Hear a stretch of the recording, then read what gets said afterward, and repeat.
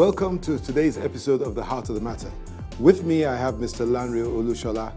Um, he is a coach, he is a counselor, he is a psychotherapist, and he is a son of the Most High God. So, so um, we're, we're here to talk principally about family and marriage, but, but we're just going to talk about, about anything as we, we share together. Lanre, you're welcome to the Heart of the Matter. Thank you very much again for inviting me on Heart of the Matter. To start with, Lanre, we're working collaboratively Yes. to, to do a program that is meant to help marriages. Um, can you just tell us a bit about the program so that uh, our right. viewers have an idea? All right, so um, the program is called um, Mind the Gap. And, um, you know, if, if, if you're conversant with train travel uh, in Europe or, you know, uh, in developed countries, you'd find that um, there is a gap between the train and um, the track. And oftentimes there's a sign, you know, as you're about to step into the train to mind the gap. And that gap um, and that symbol, uh, you know, is warning you against um, not taking the wrong step or heeding to the, you know, the, the, the red um, signs that say, you know, make sure that you take the right step before you get into um, the train. And if you don't, what happens to you? You fall into the cracks and you endanger your life and the lives of other people. And so we sought for a right name for this program. We sought for a right name for marriages because globally now they're saying that, you know, research is proven that one out of every two marriages is ending up in divorce and seven out of 10 marriages in Nigeria is ending up in one form of separation or the other. So we're asking ourselves, you know, what is it that people are getting wrong? What is it that is happening in families and in marriages today in the 21st century? What are the gaps that people need to mind, you know, and what exactly is it that they need to do? And, you know, we, we, we, we, we, we, we asked ourselves, you know, what is a school that people need to go to? um, in order to learn, acquire the knowledge, insight, and wisdom to be able to build the right homes, uh, the right families, and you know, live in the, in the right um, marriages. And we thought that it was important for us to bridge the gap between um, families and you know, marriages. And you know, uh, one of the most profound you know, uh, statements I've heard about the school of marriage from you, Pastor Wale, is that the family institution was the original place where you were supposed to learn about marriage. You're supposed to learn the right values, the right beliefs, and you know the right philosophies, you know, and character that you carry into your marriage and then you transfer to your children. But that institution is failing. So who is going to bridge that gap and how are we going to bridge that gap? And that's why we set up Mind the Gap. And Mind the Gap is a series of five programs. The first one, we held it in March, and the theme was the foundation and the five pillars that you build your marriage and relationship and family upon. The foundation being God, and the five pillars being friendship, being kindness, being empathy, uh, being maturity, being forgiveness, and understanding and knowledge of one another. And the theme for the next one, based on the challenges that we're experiencing today financially, is family and finances. And we've got a huge array of experts and professionals that are going to come and talk to us about family investments, um, how to practically build your wealth. Uh, we're going to talk about God and money. We're going to talk about the psychology of money. So we've got about six or seven speakers, uh, Pastor Lumide Emmanuel, Dr. Um, Mudashiru, who's the Deputy Managing Director of Vetiva, um, Omilola Oshikoya, you're also speaking, I'm speaking, and a whole array of speakers. And so, you know, it's for couples, it's for divorcees, it's for people that are dating, that are engaged, um, it's for people that are having challenges in their, in their marriages, it's for people that are experiencing, you know, good, good things in their marriages, but they want to take it to another level. So it's for everybody. Now, um, it seems that Mind the Gap is focusing on marriages. What, in your view, are the key problems that marriages in our country are facing today? Well, I, I- would say you know, the, the number one uh, thing is ignorance. Um, quite a lot of people, people are ignorant about what is required to, uh, um, to live a successful life. One, to live your own life, to discover what your purpose is. Now, if you are confused, it is okay, and you're, you're leading yourself in the wrong direction, it is okay. But when you are a husband, you have a wife, you have children, and you are confused, then you confuse your wife and you confuse your children. It is a, you know, it is, it is doomsday, you know, and, and, and it will create destruction. So a lot of times it is a function of ignorance. What are people ignorant of? Number one, they're ignorant about their purpose. Secondly, they're ignorant about the purpose for which they're in that marriage. Because every marriage has a purpose. And the two people that come together um, as one in that marriage are supposed to have a vision, a mission, um, and they're supposed to execute a purpose within their environment. And one of the purposes is to bring about godly children that are brought up in an environment that fosters self-esteem, self-pride. And for those children, you know, to discover what their gifts and talents are, and for those children to fulfill their purpose. Now, a lot of people are not living their purpose. A lot of people are ignorant about that. A lot of people are dysfunctional. So too dysfunctional people create a dysfunctional environment that create dysfunctional children. And so you find out that at the heart of a lot of the challenges is ignorance. Now, when you get into dysfunctionality, then other things begin to suffer. You know, then you stop being friends. That's the second thing. A lot of marriages, they get into roles. Once they marry, they pack friendship and then they switch to husband and wife. That's the first level of detachment. Now, um, they no longer are best of friends.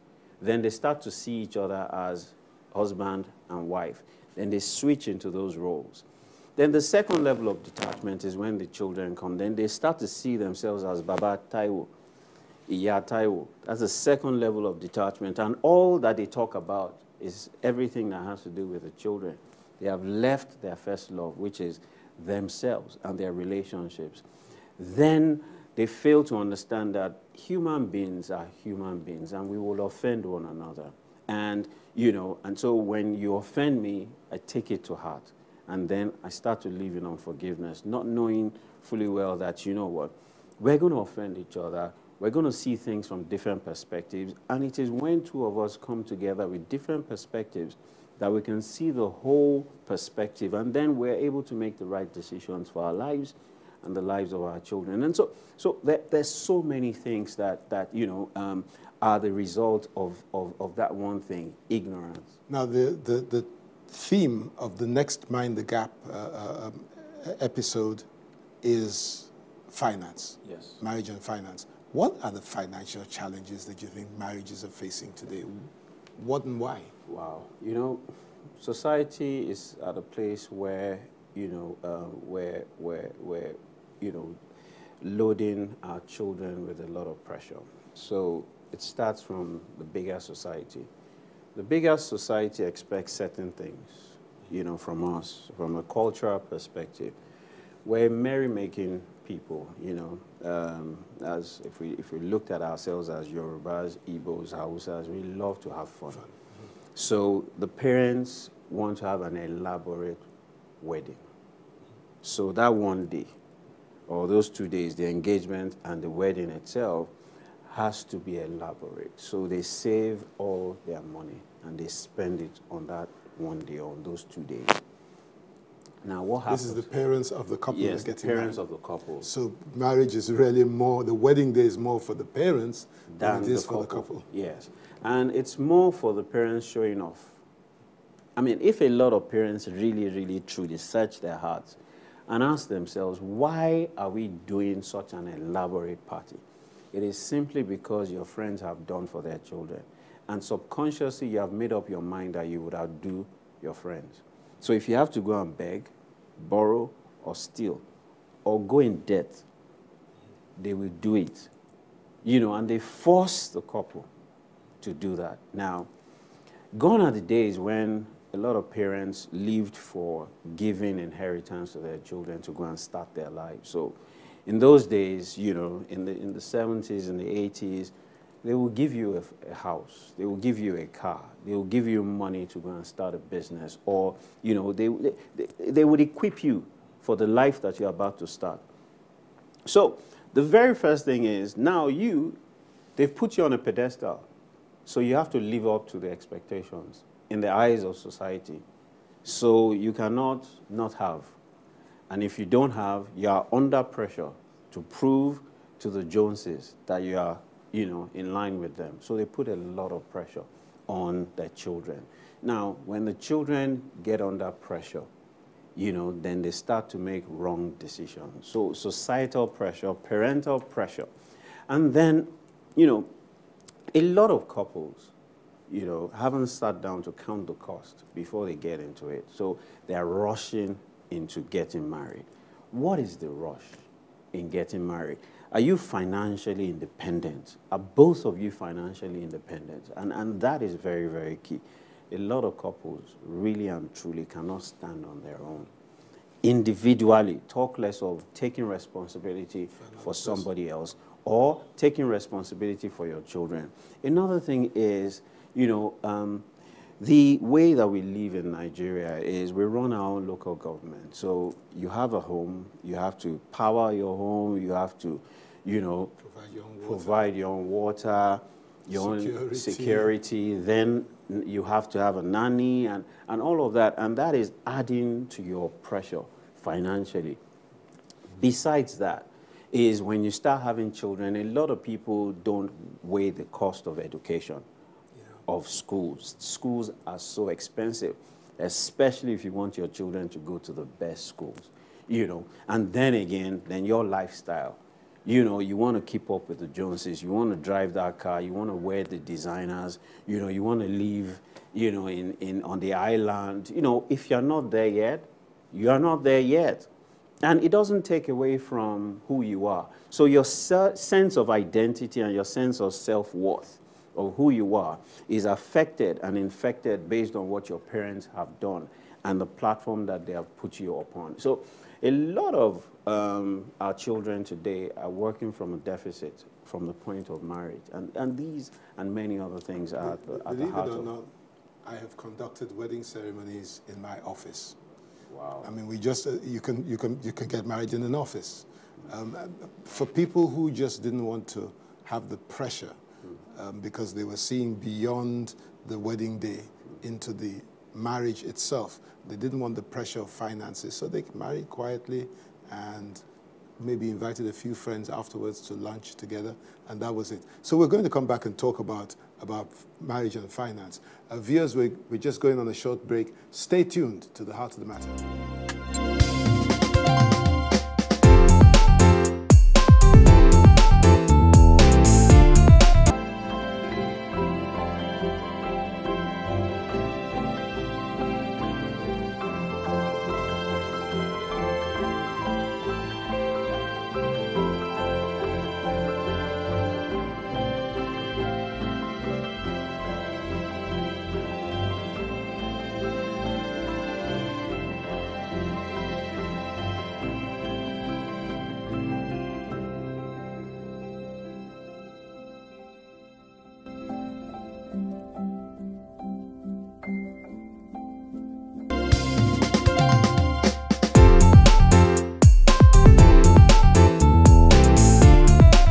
Welcome back to the heart of the matter, where we're talking um, about marriage, uh, about family with Mr. Lanre Olusola.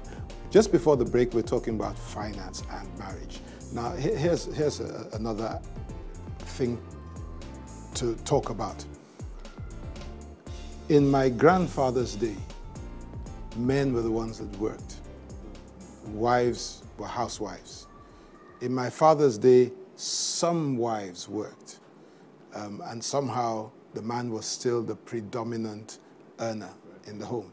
But today, there are many homes, particularly in the West, where the man stays at home and the wife works because the man stays to, at home to look after the children. Here in Nigeria, we're beginning to see a lot more women, in fact, most women, get an education, start working, and some of them earn more, and sometimes a lot more than their husbands. Uh, uh, is this putting a strain on marriage, and why? Yes, it is. Um, uh, number one is there's, there's culture versus our culture versus the Western culture. One of the things that I've realized is um, there's certain men that, you know, um, subscribe to our culture, but also want to balance it when, you know, it suits them with what they want from the Western world. It's either you're full cultural and traditional, or you know, you're you're the 21st century husband. You know, so I find that there's a lot of clash in there. There's a lot of conflict, and um, you know, um, the conflict comes when you want to put your foot down and say you must do this, you must do this without a dialogue, without understanding, without a knowledge, and you know, of one another. There's absolutely nothing wrong if both of you agree that you know what for this season you know what, these are the challenges that I'm going through, this is what I want to focus on, and then you become the breadwinner. Once you both have that understanding. But most importantly, you have a budget. And both of you sit down and run through what your expenses are, and you don't overshoot what your budget is every month. A lot of homes don't have a budget of what they want to spend every month on food, on electricity, on entertainment you know, on education, on, you know, taking care of themselves, you know, and developing I, I themselves. I use this illustration. I tell people that if you go to the shops and you don't have a list of what you want to buy, mm -hmm. you will end up coming away from the shops with far more than you intended. Than, you know, so a lot of people don't sit down and, and, and, and go through that painful exercise. If, if uh, oftentimes I ask a lot of marriages that are having challenges from finances, you know, that how much money do you spend on your critical needs every month? They don't know. How much money do you spend on your basic needs? They don't know. How much money do you spend on your wants? So we encourage, you know, families like that to color code their expense profile.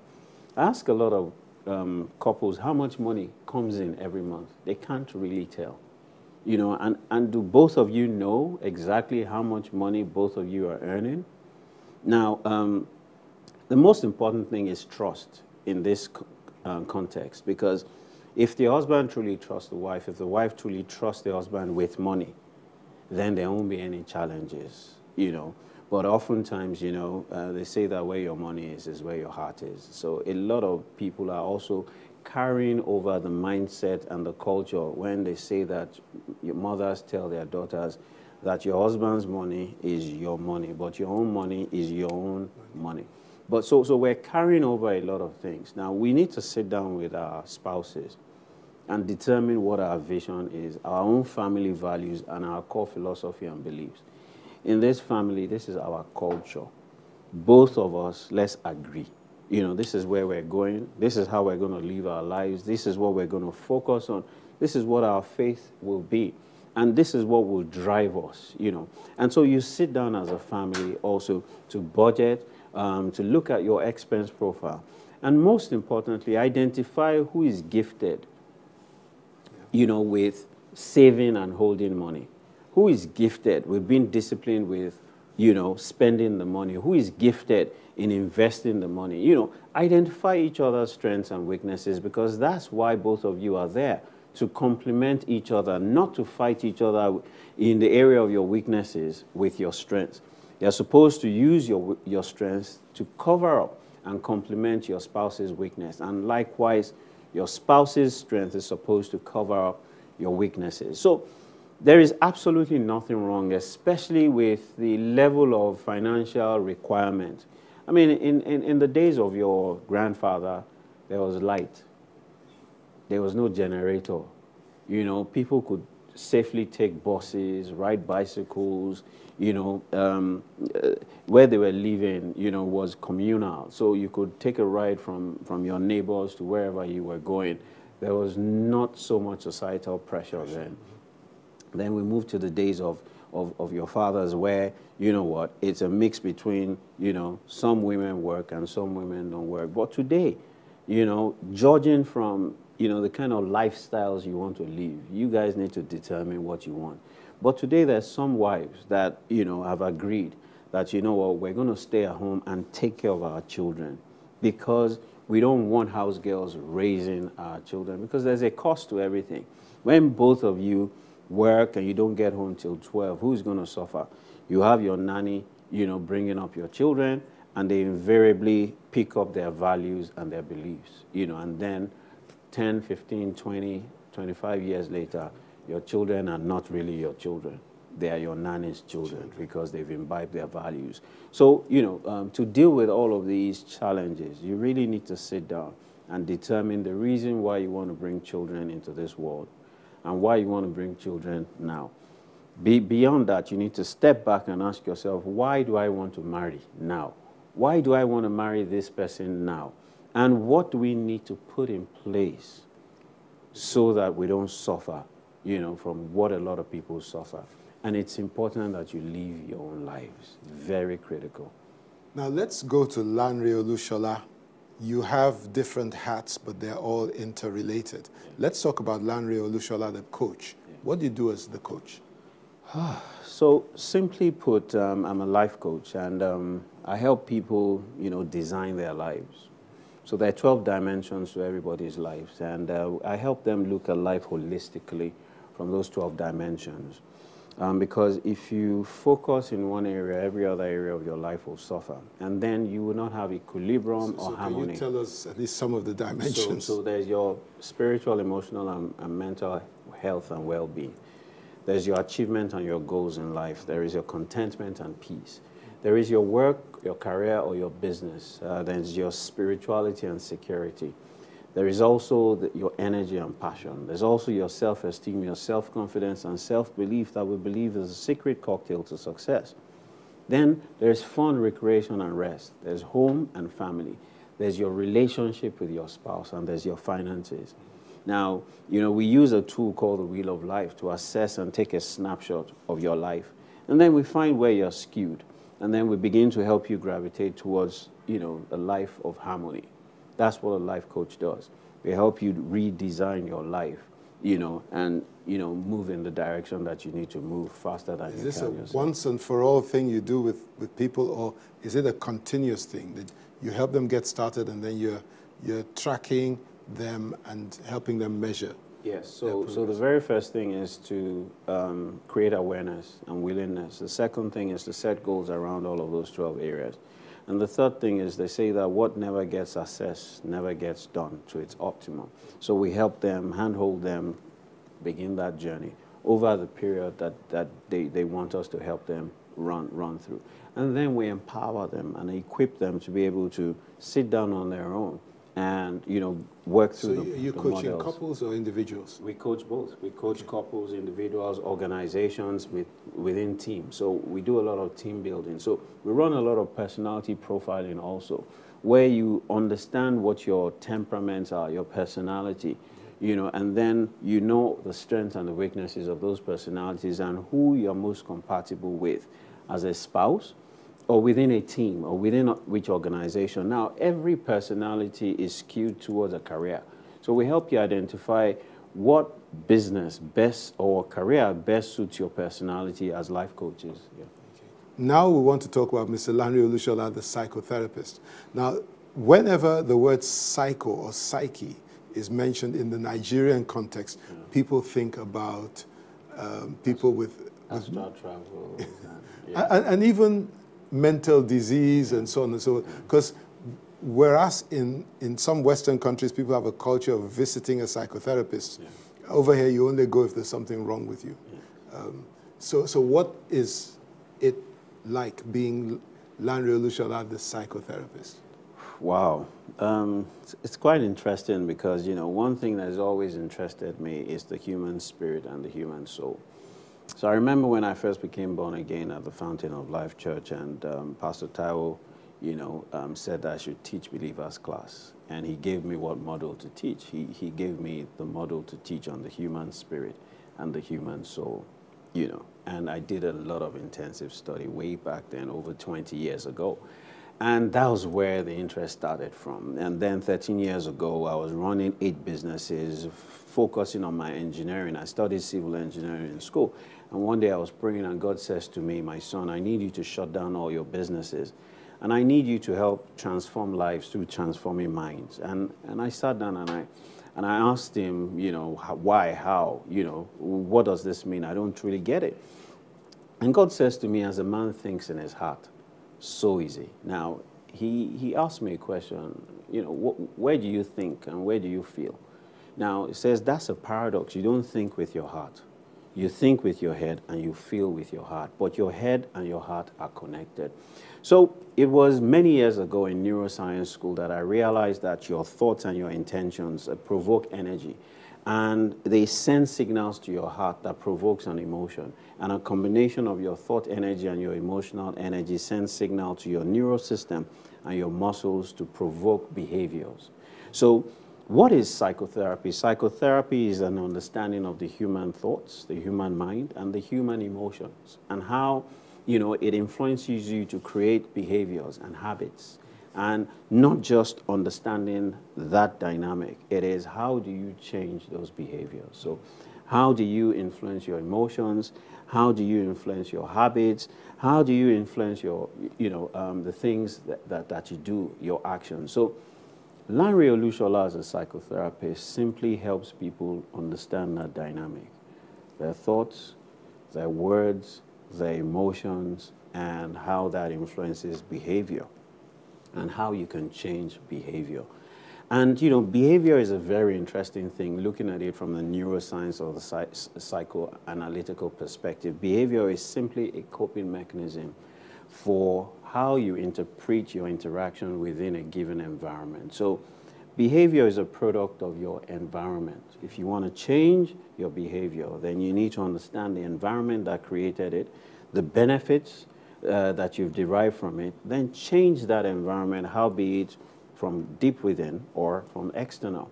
So the mind and the body are one and the same system, they are connected. So you can change your mindset through your physical being, or change your physical being through your mindset. So today, um, you know, medical science is proving that, you know, 95%, between 85 to 90% of disease is caused by stress. And stress is simply how you interpret your engagement in your environment. And engagement within your environment provokes emotions, provokes, you know, behaviors. And so those emotions and behaviors critically influence your biology and then your physical health. So as a psychotherapist, we're looking from the perspective of how you have spiritual and emotional health and well-being so that you can live a healthy lifestyle, you know, and you can have good health in your, in your physical essence. Okay. Now, quickly because of time, Lanre Olusola, the counselor, um, and, and I, I, I assume that people who have challenges, not necessarily marital, will come for counseling. People who have mar marriage problems will come. Tell us a little bit about the counseling. well, you, you know, um, the counseling is really, the, the, the, way we do it is, is we combine the coaching and the psych psychotherapy. Um, people come expecting that you're an expert and you can advise them. But, you know, um, we've learned in the 21st century that, you know, everyone that has a problem has an answer. So we don't you know, do the outside in um, counseling. We do the inside out counseling where we ask them questions. If you understand how Jesus, you know, worked with people, Jesus will speak a parable or he will ask a question. It was because he intended to draw out what was in, inside of you first before he fed you with what he needed to feed you with or correct what he needed to correct. For out of the abundance of the heart, the mouth speaks. So as a counselor, is we sit down and really truly listen out for patterns, for limiting beliefs and barriers that are getting in people's ways, and we can ultimately identify those things and help transform. So the, the, the man by, that, that stayed by the pool of Bethesda for 30, 38 years, Jesus asked him, you know, what do you want? And he says, I need a man to help me. Now, if you've been by the pool looking for the angel to stir the water, then you will not be looking for a man. You'll be moving gradually. So Jesus was able to identify what the man's limiting beliefs were. He was looking for a man, and Jesus took the position of that man and told him to pick up his mat, what he couldn't do for 38 years. And the man had a belief, and his belief was if I find a man that empowers me, I'll pick up my mat. Now, without Jesus, asking him what he wanted, asking him what his problem was, he would not have been able to solve that problem. And likewise, when we counsel is we start off by asking very, very critical questions that reveal the state of people's hearts so that we know where they are in terms of their beliefs because beliefs are very powerful. They transform people's lives. And, and so we plug in into, into their beliefs and then we connect God into that situation and then God can solve the problems. And you have seen lots of people come through the process and their problems resolved. Oh, yes, most definitely. I mean, we, we, we would say 95 to 96 percent because it requires awareness and willingness. Some people are forced to come for counseling, and so they're not even aware of why they're there, and they're unwilling to come. Now, with such people, you can't help them.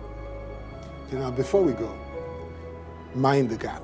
The next episode is coming up soon. Tell us a bit more about it. When and, and all the requirements for, to be. All right. So, so mind the gap uh, is coming up on the 4th of June and is holding at the Guiding Light Assembly, um, Parkview in Ikoyi. And it's go going to be running from 8 a.m. to 5 p.m. And we have different, um, you know, sessions. There's going to be the morning session, and we've got a, we, we have four speakers. And um, after that morning session, we have a plenary session and a, and a Q&A session for about one hour, one hour, 30 minutes. Now, if you have children, please bring your children along because we're going to set up, um, you know, an area where we're going to take care of your children. So if your issue is, is where am I going to put my children? This is church. Please bring them to church. But this program is not a churchy program because we're inviting experts from the banking sector and, you know, ED in, in, in EcoBank is going to be speaking. The head of, you know, um, corporate banking of Diamond Bank is going to be speaking. The deputy managing director of Vetiva Financial Services is going to be speaking. You know, so, so we have a good array of, of, of speakers, and it's just 5,000 naira for each individual. And if it's two of you, a couple, it's five times two, which is 10,000 naira. And then food, lunch is going to be served. There's also tea breaks, there's coffee, there's snacks, you know, and we're going to all generally just have a good, entertaining, an empowering time. And you know, it's again, it's on the 4th of June. And how do you register for this program? Just send an email to mindthegapxx at gmail.com and signify your interest. Send us your name, your email address, your phone number, and then we'll send you the account details um, for you to make payment. And once you make payment, we will send you your ticket to attend the program. Don't worry, if you didn't copy the email address, it's going, we're going to put it on the screen and all the other details that you need to know. Thank you very much, uh, Lanre, for Thank coming you. to the heart of the matter. It's been a pleasure bringing this episode of the heart of the matter to you. Until we meet again, stay blessed.